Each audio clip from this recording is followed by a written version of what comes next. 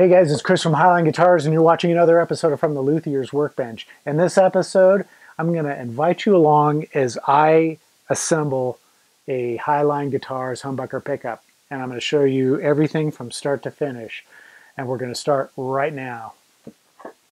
So these are all the parts that go into making a humbucker pickup from right to left. In that upper corner, I have four lead wires and two plastic bobbins I use four conductor shielded wire to hook up my pickups. Uh, nickel silver base plate. I'm using an Alnico 5 magnet. Then I've got a couple of different spacers. And then these are Fillister pole pieces for the adjustable side. And then slugs. Then I use four brass screws to attach the bobbins to the base plate. First thing I have to do is prep some of the parts, and that includes filing off some of the casting flash on the plastic bobbins with a fine tooth file. Next, I'll strip about a quarter of an inch off of each end of the 28 gauge lead wires that I use to wire up the bobbins. There are four lead wires in each pickup. To ensure a good connection, I'll pre-tin the ends with solder. For solder, I'm using 60% tin, 40% lead solder to get a good, reliable connection. The hookup wire I use is shielded four conductor wire. And as I remove the foil shield here, you can see the, the four color coded wires. And there's also a fifth bare wire, which is in contact with that foil shield and helps ground it to reduce noise. To prepare the conductors, I'm going to strip off a quarter of an inch of the insulation from the end of each of the color-coded wires. Then I'll tin them up as I did my lead wires earlier. To keep the pickups as quiet as possible, I need to ground the base plate. And to do that, I'm going to solder that short length of bare wire where it extends out of the end of my lead. And the other end will be soldered to the ground pin on the jack in the control cavity. And here I'm threading the lead through the large hole in the corner of the base plate. It's important to keep in mind where that wire emerges from the bottom of the base plate. It has to be as close to where it's going to be routed to the control cavity. Now I'm ready to wind the bobbins, and to do that, I have to first apply some double-sided sticky tape to the back of the bobbin so I can attach it to my winder. Every winder is a little bit different, and with mine, I just run the start of the wire through the uh, winder disc to the backside and tape it down. Then I'll do the first couple of turns by hand just to make sure everything is lining up properly. Winding the bobbins does a lot to determine what kind of tone and the signal strength that you're going to get out of your pickups. There's a lot of variables involved, and I think that the probably the most important ones to consider is the gauge of the wire that you're going to use, the kind of insulation on the wire, and how many turns you're going to put on a bobbin. Now speaking of wire, I could probably do a whole series of videos that would last for hours and hours and hours talking about the different nuances of pickup design with regards to wire, magnets, and that sort of thing. But instead, I think for this video, I'm just going to give you some rules of thumb that I typically follow. I use uh, 42, 43, and 44 gauge wire. And I'll use uh, heavy Formvar uh, real enamel or uh, poly insulation. It just depends on what I'm after. When it comes to choosing the wire gauge for a particular pickup, I just follow uh, some basic rules of thumb, and that is the higher the number in terms of the gauge, the thinner the wire. The thinner the wire, the more turns you can put on a bobbin. The more turns you can put on a bobbin, the stronger the output signal. The stronger the output signal, the more likely you're going to clip some of your treble frequencies. And that's why pickups that have a fewer number of turns and a lower output signal generally sound more balanced and articulate. After I finish winding the bobbin, I'll tape off the finish and then remove the bobbin from the winder.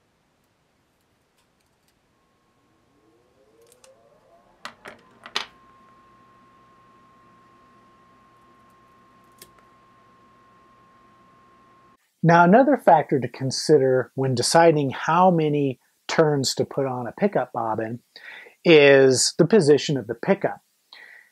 If a pickup is going to be in the neck position, it's going to sound different than the pickup in the bridge position. And this has to do with the amplitude of the string's vibration. The neck pickup is closer to the center of the scale. And at that position, the strings have a greater amplitude of vibration, which increases the output signal from the pickup. The pickup that's in the bridge position, however, is at the end of the scale where the strings are not vibrating with as great an amplitude as they are towards the neck. But they are vibrating with a higher frequency. Therefore, your bridge pickup sounds a lot brighter than the neck pickup.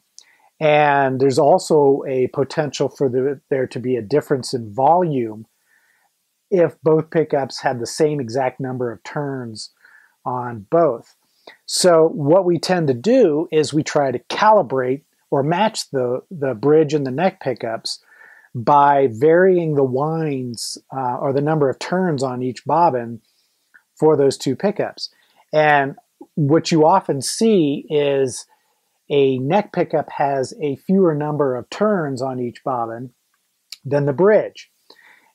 We can do that because the bridge pickup, because as I mentioned before, when you increase the number of turns and therefore boost the signal strength, you start to lose some of your treble frequencies. Well, since the bridge is already going to have higher uh, treble frequencies by virtue of the fact that it's at the end of the scale length, you can increase the number of turns on the bridge pickup, boost the signal, and that's going to take down some of the treble frequencies and help you to balance the tone of that pickup and the volume more with the, the neck pickup.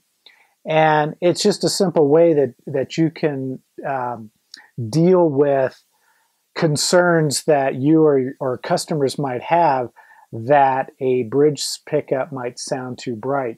And if that's the case, um, and unfortunately, it's something you really can only learn through experience.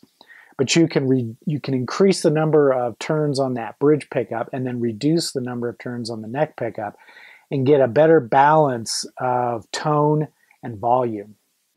To make it easier to solder the four conductor hookup wire to the bobbins, I have to solder lead wires to each end of the coil. So to the start of the coil, I'm going to be soldering a 28 gauge black lead wire, and then to the finish, I'm soldering a 28 gauge red wire.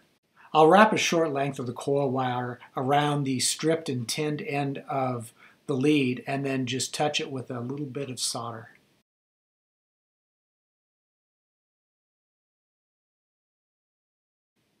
Then I'll just slip a short section of 1 16th inch diameter heat shrink tubing over that solder joint and shrink it with my soldering iron. With the start and finish leads soldered into place, I wound up uh, that last bit of wire and then taped the leads so that both the start and finish lead wires are extending off of the same end of the bobbin.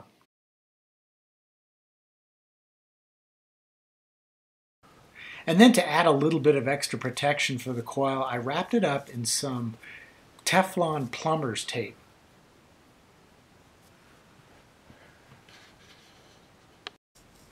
To install the slugs into the slug bobbin, I installed them from the back and pressed them into place with a screwdriver.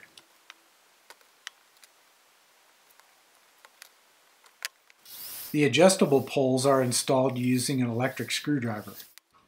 The metal spacer is then installed on the ends of the adjustable pole pieces.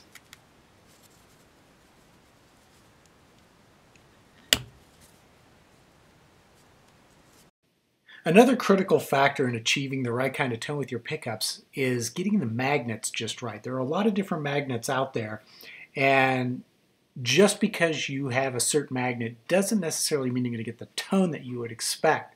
What you have to do is you have to be able to measure the gauss and then adjust it accordingly to get the right kind of tone. So here I'm using my own homemade DIY uh, gauss meter. It's a Hall effects type uh, sensor which is wired into a multimeter and I can read the voltage and then take that voltage and plug it into a spreadsheet which crunches a number and tells me what the gauss is. And then I can adjust that gauss using different techniques in order to tailor the magnets to my specific needs. Now I'm ready for the final assembly of the pickups and that means installing the bobbins with the magnets. And the way I do this is I always have the um, screw bobbins are my south pole uh, orientation and that means that the south pole will always be either against the fretboard or against the bridge and then uh, the bobbins are installed just by using those tiny little brass screws. Probably the most tedious part of assembling the pickup is attaching the uh, four conductor leads to the bobbin leads. It's all very tiny and fiddly work to do. And then each of the leads is soldered together. Here I'm showing uh, two of those leads being soldered together. The other two have been uh, already finished. Then I'll install uh, some 16th uh, inch diameter heat shrink tubing to protect the solder joints and to prevent shorts and then I'll just uh, shrink them up with my soldering iron. Then I'll tuck everything out of place in between the two bobbins so you can't see the wiring. Now one of the last steps in making the pickups is an optional step and it's the sort of thing that's it, it isn't absolutely necessary but uh, people have come to expect it and that's to dip the uh, pickups into melted paraffin wax. And this is a technique that I think was introduced about 700 years ago by Eddie Van Halen. And now people seem to think that it's absolutely necessary. But, you know, some of the greatest pickups ever made didn't have any wax in them. So um, I do it just because it's expected. In a nod to tradition, I'll wrap the uh, humbucker bobbins with uh, cloth humbucker tape.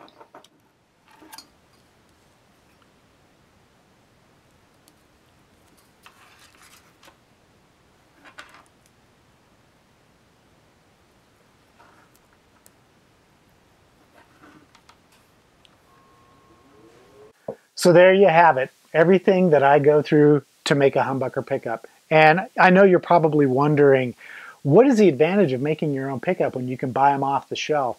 Well, there's a couple of reasons. First of all, once you get everything set up, it's cost effective and you can make humbucker pickups, well, any kind of pickup, P90s, single coils, whatever. You can make them fairly inexpensively. And so uh, it actually becomes a uh, a cost cutting measure. But the best part about it is it gives you the ability to uh, shape the tone of the musical instrument that you're building with your own hands. So when you're done, you can say, not only did I cut, carve, and sand that, but I made the pickups that went in it as well. So that's pretty much uh, my reasoning and my thought process behind it. So until the next episode, take care and we will see you soon.